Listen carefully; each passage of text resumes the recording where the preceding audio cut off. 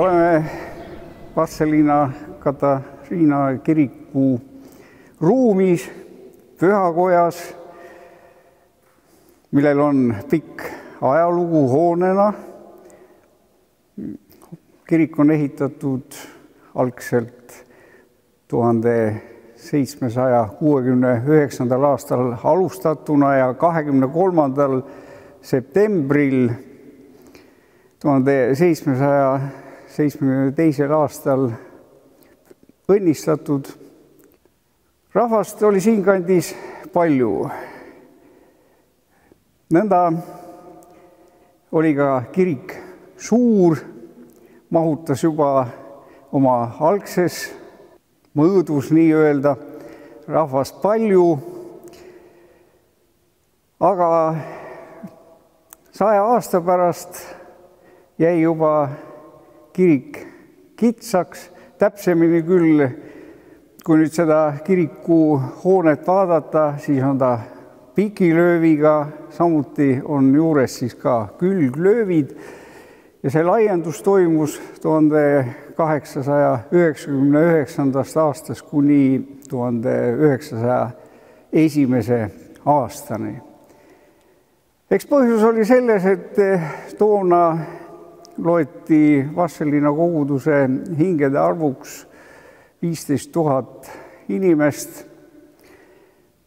praegugi Vastseliina kogudus arvestab, et hingesid võib olla kolmest tuhandest kuni viie tuhandeni, kes on koguduse hingekirjas, kuid noh, nii palju aktiivseid inimesi meil enam paraku ei ole. eks tänapäev on ka oma töö teinud aga sellest hoonest, sellest pühakojast. algselt oli ka kiriku tornis teistsugune tornikiiver. tornikiiver ehitati ringi barokse stiiliga tuhande kaheksasaja seitsmekümne teisel aastal ehk sada aastat peale kiriku valmimist ehitati ka uus torn. ja kui väljast vaadata seda kirikut, siis on ka juurdeehitus väga hästi näha. vana pikilöövi osa on krohvitud, uuem osa on väga kenasti laotud maakividest. no mis vääriks siin kirikusaalis tähelepanu, millel on sellised kaunid väärtused, muidugi iseenesest see altarimaal aga on ka palju muud huvitavat. altarimaali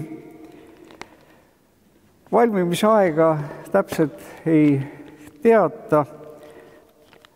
nii on ka meie annaalides kirjas, et üheksateistkümnenda, üheksateistkümnenda sajandi esimesel poolel ja autorgi on oletuslikult baltisaksa kunstnik Friedrich Ludwig von Maidel, kes seda tööd ei lõpetanud. maali lõpetas peale kunstniku surma Voldemar Friedrich Krüger.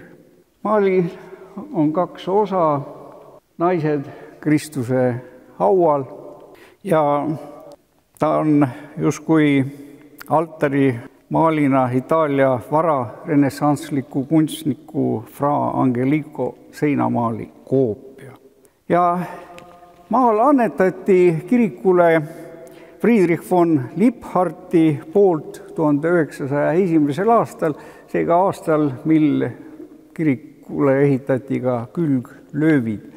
ja Liebhardiga on seotud paljud nii-öelda ajaloolised asjad siin Vastseliinas, nii ka see kantsel mis on samuti ehitatud eh, sel ajal, kui kirik laiendati. samuti on valminud tuhande üheksasaja esimesel aastal ja ta on tammepuust ning puu selle kantsli tarvis on Raadi mõisast, mis samuti kuulus liparditele. ja Kristuse figuur seal kõige kõrgemal on valminud Paul Horma ehk Horni käte all tuhande üheksasaja kahekümne teisel aastal ehk kiriku saja viiekümnendaks aastapäevaks nii-öelda. Ja nii kui see tark raamat mul siin ütleb, kuju valmis kaheteist päevaga, on puidust ja e, pealt kaetud siis pronksi värviga ja Paul Horma oli toona seitsmeteist aastane. altari ruumis on ka kaks inglikuju, palvetav ingel ja tunnistav ingel. Need on samuti valminud Paul Horma Horni käe all juba tollel ajal, kui tema Pallases õppis aastal vahemikel tuhat üheksasada kakskümmend kolm kuni kakskümmend viis. on ka kolmas kipsist ingli skulptuur mille kogudus leidis torni nii-öelda vaheastmelt, torni treppide alt ajaga oli sinna kogunenud noh, kõiksugust kraami, võiks nii öelda, ja sinna oli viidud ka see kannatada saanud ingel. ja tema asub nüüd meil seal külglöövide juures on sellised kambrikesed ja seda minust vasakule jäävat kambrit kutsuti santide kambriks ehk vaes, vaeses rahvas oli seal ja kuulas siis jumalateenistust ja ei seganud nii-öelda seda no nii-öelda asisemaid inimesi. mis üks omapärane eh, nüanss veel siin külglöövide juures on, on see, et kui vaadata kõrgemale lae alla, seal on ka kaks ust, olid ka plaanitud siia ehitada külglöövidele rõdud, kuid need on jäänud ehitamata ja nõnda need kaks ust on lihtsalt justkui samm tühjusesse. oma, omal kombel kirikuhoones ka sümboolsed ja äramärkimist väärivad veel siin kirikusaalis need ahjud, mis on tõesti vanad, vanust ma nüüd, ma jään selle vastuse küll võlgu, aga nad on täiesti toimivad. aga kuna neid aastaid ei olnud kasutatud, siis linnud leiavad pesakohaga korstasse nõnda on ka eh, korstnas linnupesade jääke, aga see on kõik plaanis puhastada. kusjuures eh, ma rääkisin küll altaris olevatest eh, ingli kujudest, aga väärib veel äramärkimist ka seintel olevad lühtrid, üks on siis Püha Peetrusega, kellel on võtmed ja raamat käes ja teine on siis Paulus, Püha Paulus, kellel on käes mõõk, mis ongi ka nende apostlite sümbolid. äramärkimist väärib siin kirikuhoones ka oreli-meistrite kriisade orel. ja kui nüüd tullagi tänapäevale lähemale, siis kogudus